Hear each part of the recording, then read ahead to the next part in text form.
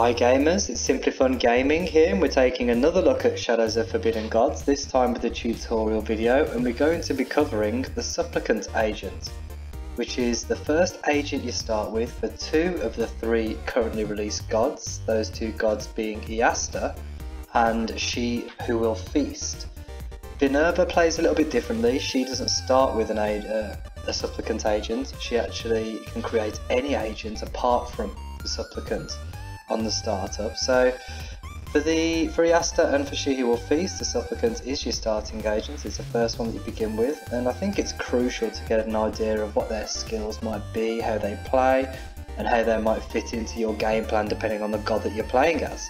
So, the first thing to mention about the Supplicant is their stats, and as you can see here, they've got these various stats on the left. We've got Might 2, Law 2, Intrigue 4, and Command 3. So they're fairly all-round kind of characters. They're not the best fighters. They can have a couple of minions with a good command stat there. They are quite good at infiltrating supplicants, which is good to start with because as we know early game you tend to be doing a lot of infiltration and a lot of trying to get into the nations of men and trying to work your mischievous ways.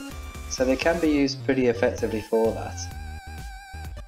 Now for, if we just skip a turn, for Iastur's supplicant, we actually get three unique starting traits and we can pick one of these three. So the first one is Protector of the Tome.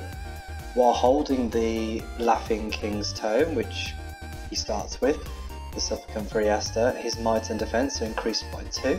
That's good if you want to go into a more fighty type of supplicant.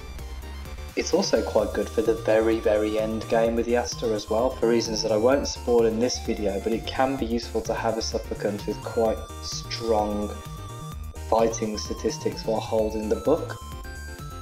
The second trait that we could choose with Iastur's supplicant is Maddening Tongues, and this is a one that I quite like to pick, but it is risky. So while in a human settlement you increase the madness of the settlement by 1.3 per turn, the supplicant also gains 0.2 menace per turn. So over 5 turns he'll gain 1 menace and he will increase the madness um, by you know 1.3 times 5, whatever that is. So this is also quite a useful uh, ability to give your supplicant. It can, as you can see, you can imagine it spreads madness just by being in the settlement. So what I like to do is actually infiltrate settlements, they're going mad, they're going mad while you're doing this. then lay low, and even while you're completing the lay low challenge, reducing your profile and menace, you're still doing some damage to the settlement because you're increasing that madness and increasing the, uh, obviously the unrest and potentially making the ruler mad as well. The final starting trade for Iastur Supplicant is Favourite Toy. This is also one that I really love. Um, it's very thematic, so once per game, effectively, if the supplicant dies, they are resurrected at the Elder Tomb with minimum profile and menace. It, exactly what it says on the tin there. The beautiful thing about favourite toy is you can effectively gives you free reign to do whatever you like. You can be a bit risky, you can be a bit ballsy with the supplicant, and if they die, oh well, it doesn't matter, it's not the end of the world, they'll come back anyway. I can't remember if they lose their items. They certainly lose their minions, but I can't remember about their items and their gold. I think they actually keep them. I could be wrong. Uh, but it is very, very uh, powerful. You can imagine just getting an agent back when they've immediately died at no cost. Great ability. So we'll pick favourite toy just to uh, just to select that one there. The starting traits for the supplicant for She Who Will Feast, I notice that the portrait looks a little bit different there, more clouded in shadow, probably a bit more evil looking I would suggest. The same stats, Might 2, Law 2, Intrigue 4, Command 3, but the portrait is different to represent a slightly different playstyle. Now the current starting trait for the supplicant with She Who Will Feast is simply to increase Command, Might, Intrigue or Law by 1, as you can see here. Intrigue is a great choice, normally one I go for. If you've got Intrigue 5, you are, you know, you're taking off 5 of the, uh, the challenge requirements every time you're doing a challenge that uses Intrigue, and you're doing a lot of challenges that use Intrigue to start with. But the idea here is effectively you've got complete flexibility over the supplicant. You can specialise him in any particular way that you want. Sometimes I'll pick Might or Lore as well, very rarely, but depending on the on the playstyle I'm going for. Now, these are the current. Let's select one there. These are the current abilities for the uh, for the supplicant for she who will feast. Starting traits, rather. Forgive me. I have spoken to the developer, and I believe that there are going to be some unique starting traits introduced for this supplicant, but they're not there yet. They're probably a couple of weeks out. So hopefully in a few weeks there'll be some more unique traits for the supplicant for she who will feast. But those are them for now. So what is the supplicant good for? Well, I said earlier, I mentioned it briefly earlier, but the supplicant is your starting agent. So really you want to start using them to initiate your early game plan. And generally, a good thing to be doing early game is to be infiltrating human societies. Not always the way, but quite often that's the case. So if we look on this map here, I would probably initially do one of two things with this supplicant. I would either go down here and start and infiltrate this coven and start spreading shadow in this area.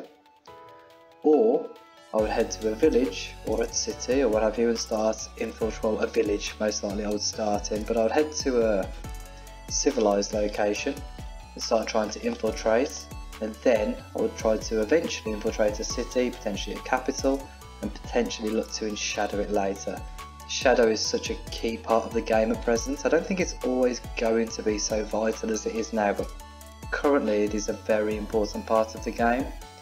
You can't really play the game without using it in some way. So you want to start moving into that game plan with your early agents and particularly with your supplicants. So let's move them over here and we'll start doing some infiltration of the coven really quick. Yes, we know about the primal font, we'll ignore that for now. We'll ignore that the uh, mediator is fully aware. We're going to quickly, that's something I we're going to quickly actually just drop the tome because we're playing as to. We should drop his nasty book, The Laughing King's Tome, here. So we'll place that a second, takes one turn, go away, done that, there we are. Then we'll head back to the coven and start infiltrating it takes 13 turns, not as quick as if we were using a supplicant from She Who Will Feast, of course, and we'd increase that intrigue stat, which is interesting, particularly when it relates to Shadow. So, oh, the other thing I wanted to mention about the supplicants, and this is true for any supplicant, is that they, they currently there isn't a supplicant in the game that doesn't start here, but the supplicants currently in the game all have their home location as the Tomb. That's where they start start this tomb location, which is, as we know, the, the seat of power, if you like, for your awakening evil god. In this case, Iastur. It's up here. They also, they don't have a family, so the supplicants can't start again currently. I don't know if this will change for any of the other gods. Maybe Mammon, who's looking to be introduced as like a god of greed and avarice and this, you know, seeking out great wealth. Perhaps their supplicant might have an option to be a member of a family, like the trickster or the courtier, for example. But the supplicant currently doesn't have a family. Well, they do. They're, they're the only member of their family. So this supplicant is 89 years old. Crikey, he looks well. He's a member of House Vilort, and he belongs to the society known as the Dark, which is obviously our society. House Vilort is not cursed, so well, apart from the fact that their only member is a pawn for a dark god, I guess. But if we look on the Heroes tab, we can see there are no heroes from House of Vilort. It doesn't exist. Apart from our, just for our supplicants.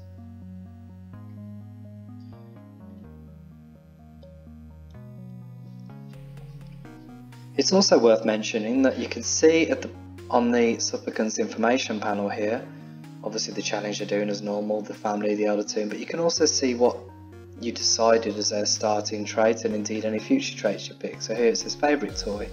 Obviously we know what that does, it brings them back if, if they die. But it'll actually tell you if this is used, it will say on the screen used in brackets if you've used that, so that's a good thing to obviously be aware of. I think you would know anyway if your supplicant had died, but just in case you'd forgotten there, it is referenced on here. So apart from infiltrating, spreading shadow, shadow generally being a pest and kind of being this all-round type um, agent, you know, they can potentially we could have infiltrated the orcs and started doing some good work with those or causing sort of drama there. Another good thing that we can use the supplicant for, that I think is a good use of the supplicant, is to actually go into ruins and try and find items because they're all round. Any item pretty much suits their playstyle to a degree. And if you find an item that is, you know, I don't know, the blade of killing heroes, that's some really great might item, for example, well, you can always go and give that to your warlord or your baroness or a more fighty type agent if you choose. Or, of course, you can hold on to it and make sure your supplicant is quite is quite strong. Like with any agent, the supplicant is to a point expendable, but they are unique, and because of the first agent you start with, I have a bit of a soft spot for them. There's no reason for this, I shouldn't. they are, they should be completely expendable, but especially with favourites. I quite like trying to keep my supplicants as long as I possibly can, and ideally keep them alive to the end, just a bit of a challenge I set myself. If they die, it's not the end of the world, you haven't lost the game, as long as they've achieved something that suits your goals and what you're trying to achieve through the game. But yeah, they can specialise into many different roles, they can become fairly fighty, as you can imagine, they're kind of jack of all trades, master of none. They'll never be as fighty as a warlord or a baroness if they're equal level They'll never be as great at infiltrating as a courtier, um, or even a hierophant, to be honest. But they can play into any, and as they because they're your starting one as well, they tend to get levels. So as they're getting levels, you can increase the stats. When more traits are added, of course, you'll be able to give them different traits, and there might be you know a specialist tree depending on the god or what have you. Once the developer gets around to adding that, but you can give them more stats, and they do tend to become quite powerful assets um, under your control. So that's the supplicant. If you've got any questions, guys, please do throw them down in the in the comment section below. If you like what you see, please do leave, uh, you know, hit the like button. If you'd like to see more of this sort of, sort of content, please do subscribe to the channel. As I said in my previous video, I will be doing a playthrough next of Iastur, the Laughing King, which is this happy chappy over here.